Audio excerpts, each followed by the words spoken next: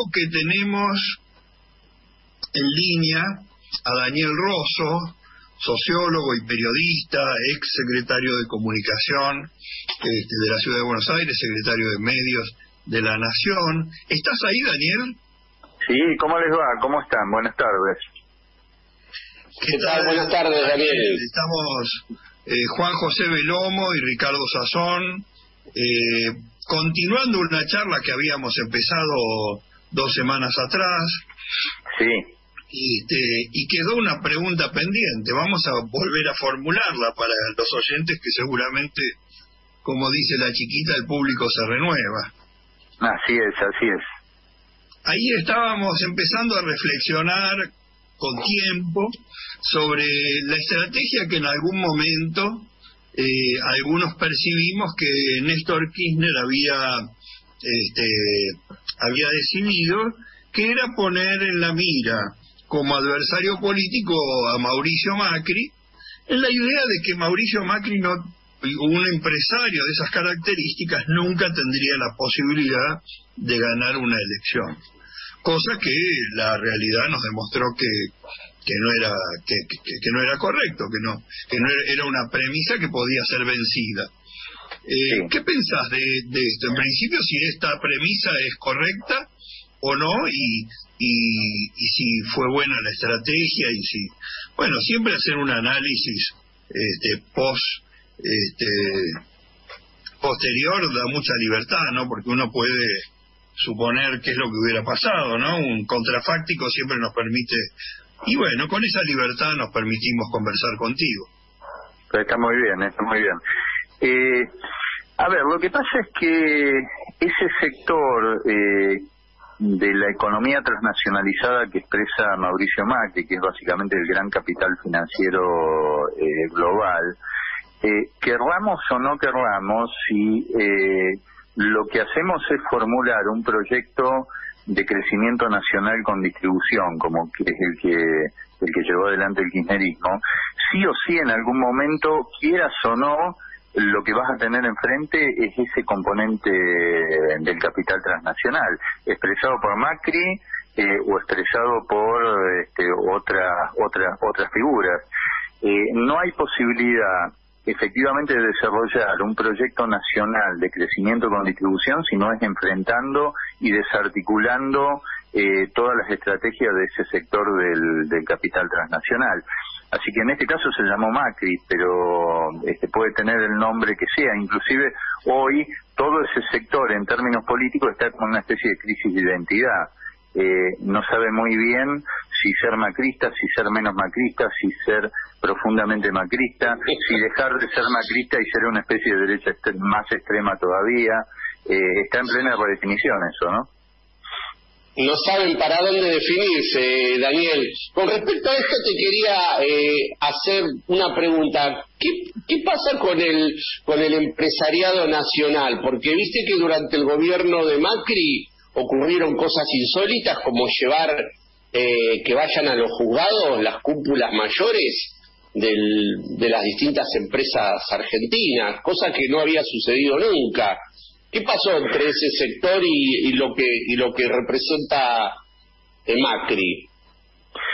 Bueno, a ver, ahí eh, supuestamente hubo este, un intento fuerte por suplantar algún sector del empresariado, eh, sobre todo contratista del Estado, eh, por capitales transnacionales. Fue, eh, según dicen los entendidos, lo que estudian ese tema, una estrategia continental, ¿no? O sea, de afianzar más el capital este global en su yo diría que ahí hay como tres tres como tres fases el de ese capital global, específicamente financiero, un sector este, que son contratistas globales de los estados locales y un tercero que son las nuevas plataformas digitales, ¿no? Bueno, a ese sector global del empresariado no queda otra que enfrentarlo con un bloque propio. El problema que hay es que, y esto lo dan todos los trabajos de investigación que se hacen, es que el sector eh, del empresariado chico, mediano, eh, que eh, tiene, está vinculado al mercado interno y por lo tanto necesita de un proyecto de crecimiento con distribución, es el que menos tiene conciencia de que tiene que involucrarse en un proceso de esa naturaleza. O sea, no tenemos un Helvar. Eh, eso no está en la Argentina y, eso, y ese es uno de los grandes problemas que tenemos. Vos decís que el pequeño empresario no tiene conciencia de clase, ¿no? Para nada, para nada. es un empresariado que que un Labaña, que un Randazo podrían interpretar mejor a estos sectores, pero la verdad es que eso no sucede. No, y tampoco pasa con los común, por supuesto que hay muchas excepciones, hay empresarios que sí entienden. A ver, es, eh, es muy elemental eh, lo que sucede es un empresario cuya lógica de crecimiento está vinculado al mercado interno, no puede crecer si no se desarrolla el mercado interno y para que se desarrolle el mercado interno tiene que haber crecimiento con distribución. Es tan sencillo como eso. Bueno, hay empresarios que dependen del mercado interno y que sin embargo razonan como este, si vendieran sus productos en, este, en Europa. Eh, por lo cual terminan siendo sus propios justicieros, ¿no? Porque después cierran. Digo, eh, durante el gobierno de Macri creo que creo que cerraron 25.000 empresas, una cosa por el estilo. Eh, o sea, ellos mismos apuestan por un proceso cuya lógica interna es este, la eliminación de ellos mismos, ¿no? Sí, sí, sí los empobrece, les baja el valor de sus empresas, eso, bueno, ahí está la batalla cultural, ¿no? Sin duda, sin duda. Eh, hay un sector del empresariado que debería estar efectivamente muy involucrado con, con un frente nacional, un frente este, eh, de un proyecto de crecimiento con distribución que no lo está eh, y que termina detrás de fantasías de la mercadotecnia, digamos, del marketing político, eh, que hace que terminen votando contra sus propios intereses. Y además, fíjense ustedes lo, lo que está sucediendo ahora eh, la oposición de Juntos por el Cambio está ante un problema muy interesante para analizar, porque parece necesitar al mismo tiempo mostrar y no mostrar a Mauricio Macri. Porque por un lado... No saben dónde esconderlo. Por un lado necesitan esconderlo, porque les limita cualquier proceso de expansión. Por el otro lado, como les está creciendo una derecha este, beligerante eh, como la de Milley y la de Ster, sobre todo la de Milley, necesitan mostrarlo para retener ese voto. O sea, Juntos por el Cambio ha pasado de una fase ofensiva que era la que eh, eh pensaban desarrollar con eh, básicamente Rodríguez Larreta, Vidal, este, Santilli, que era un proceso ofensivo porque era un proceso de redefinición de su identidad, largando el lastre que era Macri, a un proceso defensivo en donde han puesto en los últimos días a Macri en el centro de gravedad de su estrategia para impedir que se le vaya una parte de su voto hacia las variantes de ultraderecha como es Milei y Esper. Así que es una derecha que efectivamente está en problemas. Ahora, este, en ese retroceso, en, esa, en ese proceso defensivo, cuentan con el sistema de medio dominante y generan esta escena eh, terrible este, del cumpleaños y del fuera de la ley del presidente eh, y de la falta de principio del presidente. O sea, es un triple proceso de farandulizarlo al presidente, eh, este, minimizarlo y delarruizarlo. O sea, es dotar, es concentrar en él las peores tradiciones políticas de la Argentina. ¿Para qué? Para hacer una especie de suma cero, de tierra arrasada de la política. Bueno, en ese proceso estamos y está teniendo algún efecto, porque las últimas mediciones indican una caída de imagen de, de presidente de por lo menos ocho puntos, eh, con menor caída en la intención de votos, son eh, la mayoría de las mediciones están dando tres puntos, cuatro puntos, pero en una elección como esta, tres, cuatro puntos es mucho. Por lo cual es como una especie de... Si no pueden ganar, lo que intentan es implosionar la política, hacer que la política no sea una herramienta de útil para la ciudadanía. Eh, muy claro, muy claro, Daniel. Eh, ahí, este, en ese proceso de, de necesidad y de eh, y de, necesidad de, tenerlo y de necesidad de que no esté, eh, ¿cómo ves que, que el rol de Macri funciona? ¿Suma más de lo que, de lo que resta o eh, al revés, resta más de lo que suma? Ahí tenés este, esa, como vos bien lo señalabas, el crecimiento de una ultraderecha que están tratando de contener, pero por el otro lado Macri les resta crecimiento hacia el centro, ¿no? Sin duda, por eso, eh, por eso yo creo que están en un problema, porque necesitan mostrarlo en su en su fase defensiva para impedir que se le vaya parte de su voto, pero necesitan no mostrarlo si quieren tener una fase ofensiva. Eso hace que en los medios, todo el fin de semana, en los medios dominantes, haya dos explicaciones de la irrupción de Macri. Por un lado, su aparición es explicada como parte de una estrategia de Juntos por el Cambio para contener su voto duro, para que no drene hacia Ricardo López Murphy, Javier Milei, José Luis Esper, etcétera. Pero por otro lado, hay una segunda explicación que, consiste en que la aparición del expresidente es consecuencia de que los equipos políticos de los candidatos de Juntos por el Cambio no lo pueden evitar y eso inclusive aparece en la prensa más concentrada. Miren, por ejemplo, título y bajada de Infobae ayer.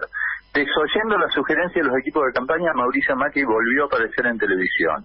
Ricardo Kirchman en Clarín. La segunda cuestión es la irrupción de Macri en la campaña. La Red y Santilli no saben qué hacer con ese jarrón chino que se les metió en su estrategia.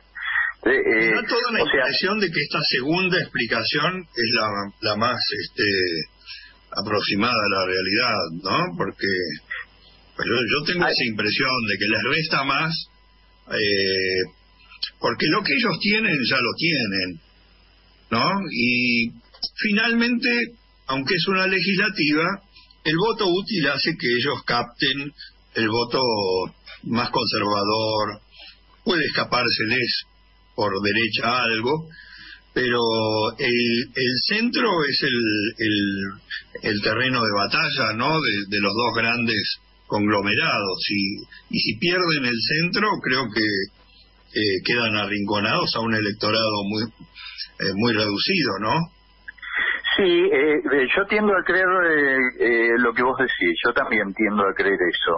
obviamente la otra explicación es muy fuerte en los medios, de que Macri es parte de un acuerdo intra junto por el cambio para evitar el drenaje de votos. Sin embargo, yo creo que esta segunda explicación, que es que no lo pueden evitar, es más explica más que la otra. Ahora, vos fijate, ustedes fíjense que esto pasa, esto es que priorizan durante unos días a Macri, eh, abandonando de algún modo la posición de centro o, sin ocuparla totalmente, pero en un proceso en donde ellos con su vanguardia eh, su vanguardia ideológica, que son los grandes medios concentrados, este, detonan eh, la, la principal la principal, el principal exponente de disputa del frente de todos los sectores medios, que es Alberto Fernández, porque hay eh, cuando vos ves eh, el tema de la, de la imagen en sectores medios, el que seguía conservando una imagen diferencial hacia los sectores medios,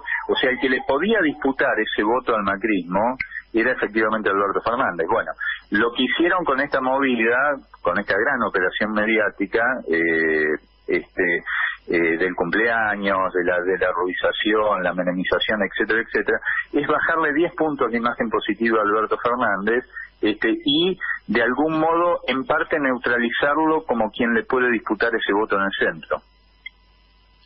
Bueno, esto muestra también la potencia que tienen los eh, el aparato el aparato mediático este oligárquico, ¿no? Porque total, eh, total. A ver, eh, ellos han hecho cosas que que, que, están en el nivel o mayor el eh, nivel de, de desacato en, la cuestión sanitaria que, que el presidente, pero este, quien está pagando el gran costo es el presidente, ¿no?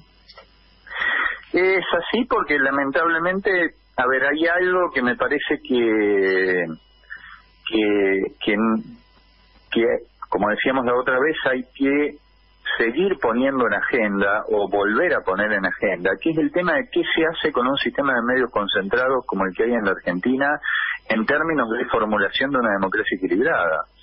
es muy difícil la puja democrática en la Argentina cuando de un lado tenés tremenda concentración de medios y del otro lado tenés un conjunto de medios dispersos. Eh, Daniel, eso es lo que está pasando en toda Sudamérica, ¿no? En toda Sudamérica tenemos grandes medios concentrados, siempre a favor del capital financiero internacional y de las derechas en cada país, que no dejan de ser una minoría, pero bueno, con semejante aparato 24 horas funcionando, es un arma de guerra muy poderosa. Sí, sí, eh, eh, pasa en Brasil, pasa en México, este, pasa, en, Colombia, en Chile. Eh, es así, es, es una alianza de los grandes medios concentrados con el capital financiero internacional, como bien dicen ustedes. Yo les diría que no es que una cosa es externa a la otra, no, estos grandes medios concentrados, que al mismo tiempo son grandes eh, conglomerados económicos, con inversiones también en el sector financiero, en el sector rural, o sea, el Grupo Clarín, eh, este, el grupo de medios, eh, es simplemente la vanguardia cultural e ideológica de un sistema de alianzas económicas muchísimo más, más amplias, con intereses en los sectores agropecuarios, en las economías regionales, en el sistema financiero global, eh, en las telecomunicaciones, con Telecom. Entonces, ese bloque de poder, que es un bloque muy, muy poderoso, eh, aun cuando tiene, defiende intereses de minorías, tiene efectivamente capacidad de configurar parte de los escenarios electorales. A ver, no tiene la capacidad total de hacerlo, porque si no ganarían siempre las elecciones y eso no pasa. No, obviamente que no, pero sí lo demarcan de una manera importante. Sí, sí, producen un desequilibrio notable. Marcan agenda, te limitan el, eh, las posibilidades del debate, te, generan escenarios, este, te inclinan la cancha de alguna manera, ¿no? Eh, ¿Vos crees eh, que habría que llevar adelante nuevamente un proceso similar al que se dio con la ley de medios. Eh, sería una, una batalla, no me lo imagino Alberto Fernández dando una batalla como esa, pero ¿vos crees que ese sería el camino o tenés en mente algún modelo de medios este, eh, diferente? No, yo, yo creo que es necesario efectivamente avanzar apenas se salga de la elección y ojalá que salgamos fortalecidos con eh, algún sistema de regulación. Eh, ni siquiera eh, es necesario plantearlo en términos de ley global si no hay las relaciones de fuerza para eso, como, como dice hoy el Ejecutivo. Pero si no hay la relación de fuerzas para eso, como dice el Ejecutivo, la relación de fuerza tiene que alcanzar por lo menos para establecer un conjunto de iniciativas de regulación que vuelvan a movilizar a un conjunto de sujetos eh, sociales detrás para, eh, para, para sostenerla. Porque, a ver, como ustedes saben, eh, Néstor Kirchner en ese sentido dejó una gran enseñanza. Eh, este, eh, no es que hay que esperar para tener la fuerza organizada para eh, lanzar este, eh, políticas políticas profundas. Es al revés, es lanzar políticas profundas, ayuda a que se acumule la fuerza necesaria para llevarla adelante. Claro, sí, sí, sí, no es, no es necesario esperar que la balanza esté a favor de uno para arrancar, sino que si uno arranca con la política, la balanza digamos que la que la balanza se inclina posteriormente a favor de bueno la relación de fuerzas se construye también no no la relación de fuerzas no es algo estático es algo dinámico y uno puede hacer cosas para que esa relación de fuerzas este, cambie no y eso me, eso me parece que es la diferencia entre la política y lo político. Vieron que hay toda una línea de, de pensadores este, como Chantal Mouffe o, o, Ernesto Laclau que de algún modo lo, lo que lo que plantean con, con mucha precisión es la diferencia entre la política y lo político. La política es la administración del Estado, o sea, yo administro lo que hay. Lo político es la irrupción de novedades a partir de la movilización de un conjunto de sujetos sociales que en el punto de partida lo que hay es, no hay garantías de que se van a poder llevar adelante las políticas que se despliegan, es sin garantías. Uno despliega un conjunto de políticas, después hay un vacío que, que impresiona, ¿no? Es que eso es lo político. Lo político es bancarse el vacío. Eh, lanzar un conjunto de políticas que uno no sabe si van a tener la apoyatura suficiente, si este, efectivamente van a anudar en la sociedad un conjunto de voluntades para llevarlas adelante. Bueno, pero que si uno no hace eso, lo otro que hay es política como administración y la política como administración no transforma nada. Me parece que Alberto tiene pánico a, ese vacío y a esa incertidumbre. Me, me da la impresión de que Alberto justamente no tiene esa, esa vocación. tiene el perfil, el perfil para ese tipo de batallas. Este, pero bueno, es muy interesante cómo vos lo estás señalando, ¿no? Porque la política también se trata de tener lo que tenía Néstor Kirchner, que era la construcción desde, desde un 22%, construir un 54%. Eso hay que jugar y arriesgar para que eso suceda. Bueno, eh, ustedes saben, en Mac Weber hablaba de tres tipos de legitimidades, pero hay dos que son centrales, que una es la legitimidad de origen y la otra es la legitimidad de ejercicio. La de origen es ganaste la elección por 60% de los votos, tenés legitimidad de origen. El caso de Néstor, que ganó la elección creo que con un 22 o un 23%, o tenía legitimidad de ejercicio, o sea, o construía legitimidad en el ejercicio o no podía gobernar. Bueno, y construyó legitimidad de su ejercicio. Daniel, estamos cortos con el horario, te agradecemos muchísimo la participación en nuestro programa y la verdad que, bueno, como siempre te, te convocamos para futuras charlas porque son muy esclarecedor y queremos que nuestro público tenga la, la suerte de escucharte. No sé, Ricardo, si tenés algo más que decirle a Daniel. No, no, no, eh, eh, me hago eco de, de tu, de tu eh, palabra eh, muchas gracias Daniel y espero poder seguir consultándote. Cuando ustedes quieran, es un placer para mí. Un abrazo grande y saludos a toda la audiencia.